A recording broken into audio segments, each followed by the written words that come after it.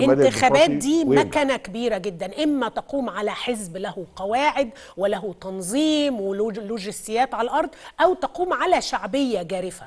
شعبية شخصية جارفة آه، كاريزمية جدا آه، خطف قلب الناس. وحضرتك خمسين سنة من العمل السياسي لكنك لم تخض أي انتخابات.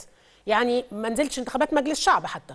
آه، مش دي مخاطرة؟ يعني طبعا. على هل انت هل انت معتمد على الحزب ولا معتمد على شخصيتك ولا معتمد على إيه؟ أنا معتمد على الهامش المتاح. نمرة واحد نمرة اثنين على الحزب نمرة ثلاثة على تاريخي السياسي وأدائي. وأنا في ده محقق أكتر بكثير جدا مما كنت أتوقعه.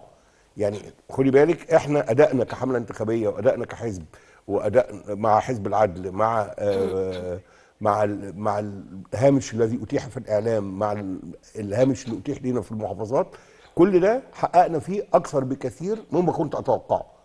هل ده كافي في حد ذاته عشان يغير من المزاج العام أو كذا؟ دي مسألة هتحسمها صناديق الانتخاب نمرة واحد. ونمرة اثنين لا ينبغي التقليل من تأثيرات السلبية للعدوان الإسرائيلي على غزة على المزاج العام الانتخابي في مصر من من زاويتين في الحقيقة.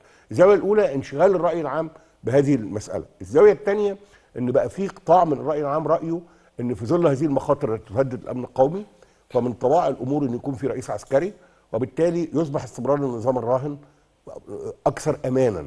هذا هذا كلام أسمعه في المحافظات المختلفة. وأنا كنت بشتبك مع الناس اللي بتقول هذا الكلام وبرد عليها بقول لها إن اولا إحنا مش في حالة حرب لا قدر الله إحنا تهددنا مخاطر هذا صحيح لكن إحنا مش في حالة حرب من ناحية.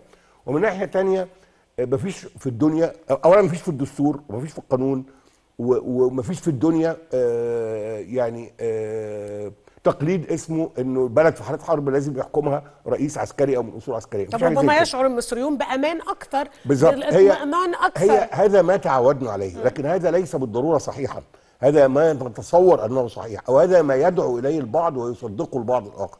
لكن أنا تصوري وده غير فكرة تانية هو لازم يكون في البديل اللي يقنع الناس إن هم يغيروا هذا. لا آه تستطيع إن أنت تغيره إلا إن هم اقتنعوا ببديل آخر. آه لا والخوف هو في فكرة إنه أنا آه من زاوية خايف بسبب إن في مخاطر على الأمن القومي وبالتالي رئيس عسكري يبقى مأمون أكتر. في فكرة تانية إنه لو جه رئيس مدني هل القوات المسلحة تتعاون معاه؟ أو أجهزة مؤسسات الدولة تتعاون معاه؟ في فكرة ثالثه إنه آه لو حصل تغيير هل هذا التغيير هيكون مأمون ولا قد يفضي إلى صراعات جوه أروقة السلطة تنتهي إلى انهيار الاستقرار. دي كلها تخوفات عند الناس. أنا طيب. بجاوب على ده يعني أقدم لك إجابة عن هذه التساؤلات. أولا رقم واحد زي ما أنا قلت ما فيش ما يستدعي وجود رئيس من أصول عسكرية حتى لو البلد في حالة حرب. نمرة اثنين وده أهم إن الجيش المصري لم ينحاز ابدا ضد إرادة الشعب المصري. فلو الشعب المصري انحاز لإسقاط مبارك الجيش المصري انحاز للشعب المصري. لما الشعب المصري انحاز لإسقاط مرسي الجيش المصري انحاز للشعب المصري. لو الجيش الم... لو الشعب المصري انتخب فريد زهران الجيش هينحاز لإدارة الشعب المصري. فأنا ما عنديش هذا التخوف وبطمن الناس لده. الثالثه بقى ودي مهمة إن أنا مش طارح عداء أو خصومة مع أجهزة مؤسسات الدولة. أنا طارح وأنا فاهم ومؤمن بإنه كتير من أروقة و... و... ومراكز ال... ال... ال... السلطة والدولة في مصر قد ترى أن التغيير أكثر امانا. في المستقبل المنظور لأنه الوضع في مصر بي بيزداد احتقان والسخط بيزداد والأزمة الاقتصادية الاجتماعية تأثيراتها بقت يعني خطيرة جدا وتداعياتها خطيرة جدا.